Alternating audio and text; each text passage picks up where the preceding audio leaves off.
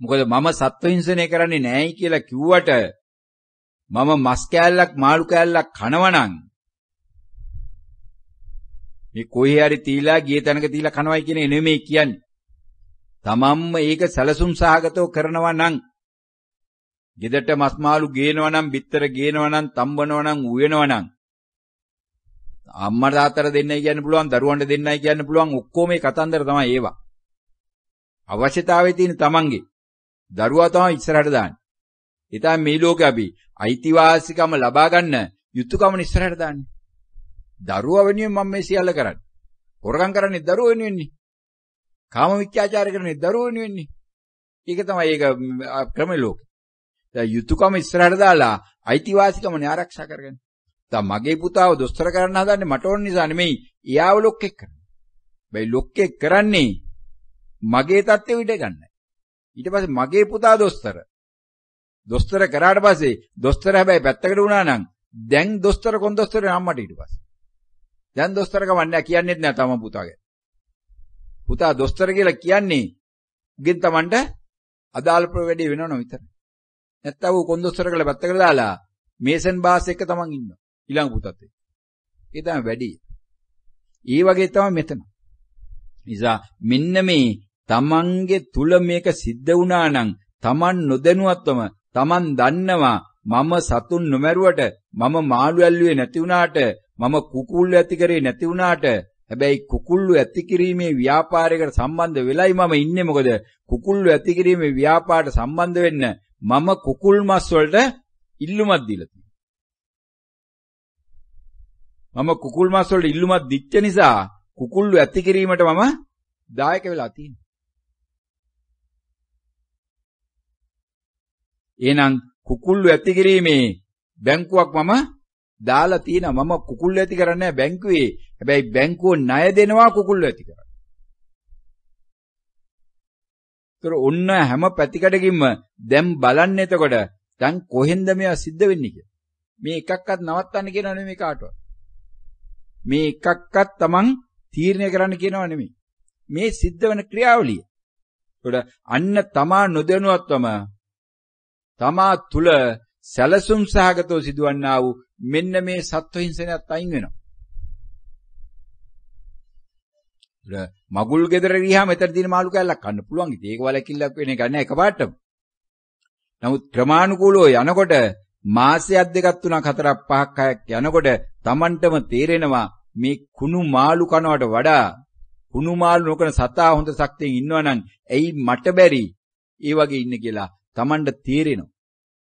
ඒකට මොකද මේ රසායනික ක්‍රියාකාරීත්වයක් ලෝකේ තියෙන්නේ.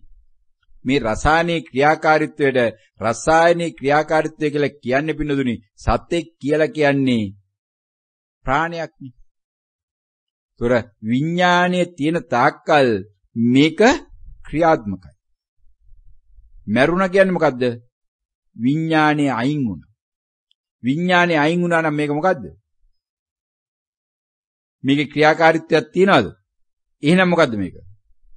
මේක විස බීජයක්. ඒතර මැරිච්ච සතෙක් කියන්නේ මොකද්ද? විස බීජයක්.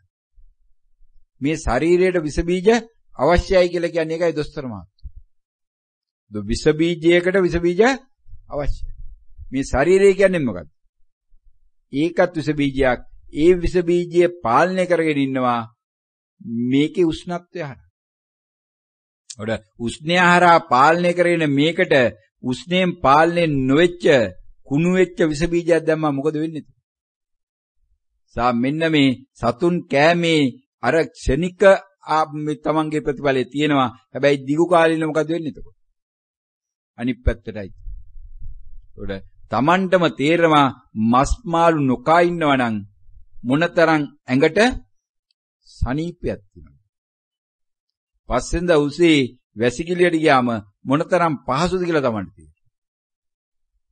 මත්පැන් බීපු එක්කිනාට මත්පැන් බීම නතර කළ වැසිකිළිය දාට තේරෙනවා මම මොනතරම් පහසුවක් අද විඳිනවද කියලා. ඒතර ඔන්න ඔය හැමතැනම මේවා ඉබේ සිද්ධ වෙලාද එතකොට? නෑ. එහෙනම් තමන් මොකක් හරහාද මේ යන්නේ එතකොට? පුංචි කාර්යයකට තමන්ගේ කාලය යොමු කරපු නිසා ඒ හරහා තමන් තුළ නිරන්තරයෙන්ම අභ්‍යන්තරයේ වැඩ කිරීමක් නෙමෙයිද මේ වෙලා තියෙන්නේ. නැවත නැවත මේ බණ අහන්න ඡන්දයක් ඇති වෙන එතනින් නෙමෙයිද? අන්න එතකොට නැවත නැවත තමන් මේ බණ අහනකොට දැන් තමන් තේරෙනවා මීට පෙර සත්ව හිංසනය කියලා කිව්වේ සතෙකුට ගහන එක සතෙකුට බනින එක සතෙකුට වෙන වෙන අඩත්තේට්ටම් කරන එක. දැන් එහෙනම් තේරෙනවා එහෙම නොකරත් මැරිච්ච මාළුවා හරි මම ගෙනල්ලා කෑවනම් සැලසුම් සාගතෝ කෙරෙනවා නම් දන්නවා මොකද? මාළු කඩේ මුදලාලි දන්නවා මෙන්න මේ මායේ තමයි මේ කාලු ගන්න ඉන්නේ කියලා. එයාට ගෙනල්ලා තියාගන්නේ ඒකලු. එක එක මාළු වර්ග එක විදිහට ගෙනත් තියාගන්නේ එහෙමනේ. හැමතැනම සුපර් මාකට් දන්නා එක සුපර් මාකට් එකේ තියෙන බවට නෙමෙයි ඒ නගරේම එහා පැත්තේ සුපර් මාකට් එකේ තියෙන්නේ.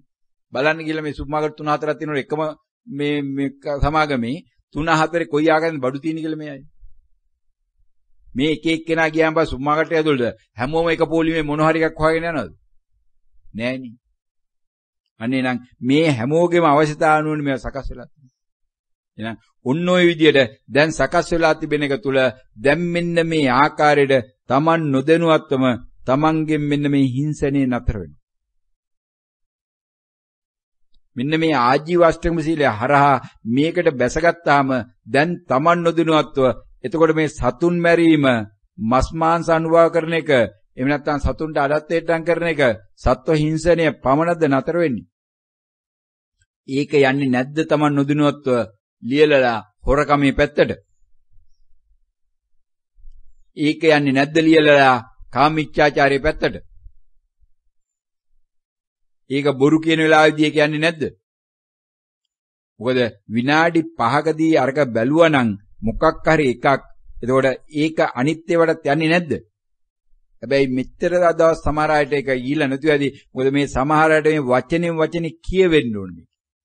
දැන් මෙතෙක් මුලදී කියවුණාට මේක අපි මේ බැසගන්නේ මොකටද කියලා මේ සමහර අය හිතන්නේ මම මේ බැසගත්තේ සතුන් මැරීම නවත්තන්නයි.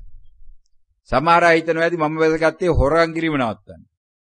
සමහර අය හිතනවා ඇති මම බැසගත්තේ පරුස වචනේ නවත්තන්නයි කියලා. එහෙම එකක්ද දැන් මේ ධර්මයේ තුල තියෙන්නේ? එහෙනම් මොහොකටද බැසගෙන තියෙන්නේ? සීලයට. ඔන්න දැන් තේරුම් ගන්න. එහෙනම් මම මේ එකක් හරහා බැසගත්තේ මොකටද? එක සීලයේ කොටසකටද? නෑ එහෙනම් සියලු කොටස් වලට. එහෙනම් පරුස වචනේ දිහා බැලුවනම් කේලමටත් ඒක අදාළ වෙලා නැද්ද? බොරුවටත් ඒක අදාළ වෙලා නැද්ද? හිස් වචනයටත් ඒක අදාළ වෙලා නැද්ද? දැන් පෞගිය භාව වැඩසටහනට ආපු අය බලන්න එදා දුන්නා වූ පරුස වචනේ පැත්තට තමන් අනුගත වෙලා පරීක්ෂා කරා නම් මොන්න තරම් දේවල් සිද්ධ වෙනවද කියලා.